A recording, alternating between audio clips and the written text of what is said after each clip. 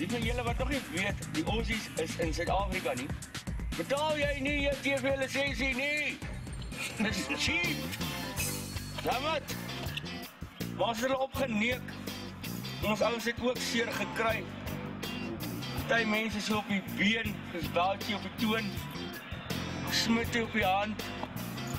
Be net hier in die swemboek area. En ons gaan net vir hulle wys hoe hulle eintlik daai besering gekry het. Want ons kan nie heeltyd wen nie. Hoe so dink hulle? Ons nou?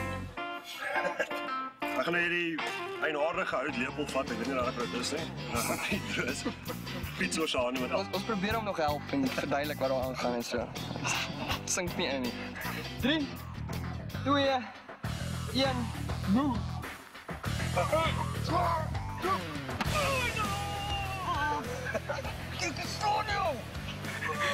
Net asof hy nie geweet het wat gaan gebeur as hom slos. Dis hoe my van die smitte sien nee. Waar was dit 10? En kan jy dit glo? Enk het actually raak geslaan. Damn it. Well done, boy. Thumbs up. Yes.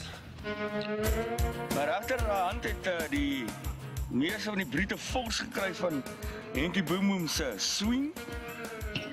So dit dis is as iemand hier kan staan dra die ander wang. Dis nou hierdie hand se been.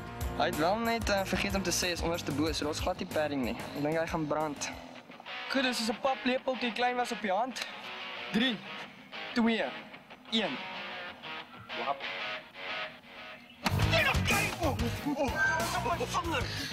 Waar het dit goed geklink? yes. Ek het 'n hand, nou slaan op die punt, want die punt is vir my belangrik.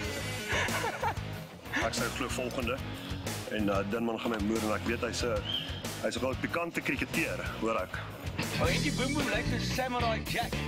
May I please have another glass of warm water for your been? Okay.